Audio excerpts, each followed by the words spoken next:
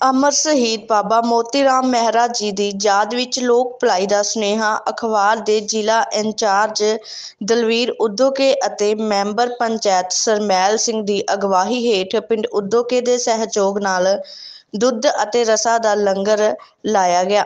ਇਸ ਮੌਕੇ ਸ਼ਹੀਦ ਬਾਬਾ ਸੁੱਖਾ ਸਿੰਘ ਜੀ ਅਤੇ ਸ਼ਹੀਦ ਭਾਈ ਤਾਰਾ ਬਾਂਹ ਦੇ ਇਤਿਹਾਸਕ ਗੁਰਦੁਆਰਿਆਂ ਦੇ ਦਰਸ਼ਨ ਕਰਨ ਜਾਣ ਵਾਲੀਆਂ ਸੰਗਤਾਂ ਨੇ ਦੁੱਧ ਦਾ ਲੰਗਰ ਛਕਿਆ। ਇਸ ਮੌਕੇ ਬੱਚਿਆਂ ਨੇ ਹੱਥਾਂ ਵਿੱਚ ਅਮਰ ਸ਼ਹੀਦ ਬਾਬਾ ਮੋਤੀ ਰਾਮ ਜੀ ਦੇ ਅਤੇ ਮਾਤਾ ਗੁਜਰ ਕੌਰ ਅਤੇ ਛੋਟੇ ਸਾਹਿਬਜ਼ਾਦਿਆਂ ਦੀਆਂ ਤਸਵੀਰਾਂ ਵਾਲੀਆਂ ਤਖਤੀਆਂ ਫੜੀਆਂ ਹੋਈਆਂ ਸਨ। ਇਸ ਮੌਕੇ ਪਿੰਡ ਵਾਸੀ ਬਲਵਿੰਦਰ ਸਿੰਘ, ਪ੍ਰੇਮ ਸਿੰਘ ਮਾੜੀ ਕੰਬੋਕੇ ਨੇ ਜਿੱਥੇ ਇਸ ਕਾਰਜ ਦੀ ਸ਼ਲਾਘਾ ਕੀਤੀ, ਉੱਥੇ ਹੀ ਬਾਬਾ ਮੋਤੀ ਰਾਮ ਜੀ ਦੇ ਇਤਿਹਾਸ ਤੋਂ ਸੰਗਤਾਂ ਨੂੰ ਜਾਣੂ ਕਰਵਾਇਆ।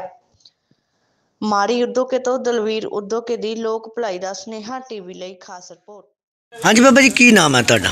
ਸਿੰਘ। ਅੱਛਾ ਬਾਬਾ ਜੀ ਅੱਜ ਮਾੜੀ ਉਦੋਕੇ ਦੇ ਚੌਂਕ ਦੇ ਵਿੱਚ ਲੰਗਰ ਲਾਇਆ ਗਿਆ ਤੇ ਕੀ ਕਹਿਣਾ ਚਾਹੁੰਦੇ ਜੀ ਇਹਦੇ ਬਾਰੇ? ਦੇਖੋ ਜੀ ਧੰਨ ਧੰਨ ਬਾਬਾ ਮੋਤੀ ਮਹਿਰਾ ਜਿਨ੍ਹਾਂ ਨੇ ਸਤਿਗੁਰੂ ਗੁਰੂ ਗੋਬਿੰਦ ਸਿੰਘ ਮਹਾਰਾਜ ਛੋਟੇ ਸਾਹਿਬਾਨ ਦੁੱਧ ਦੀ ਸੇਵਾ ਕੀਤੀ।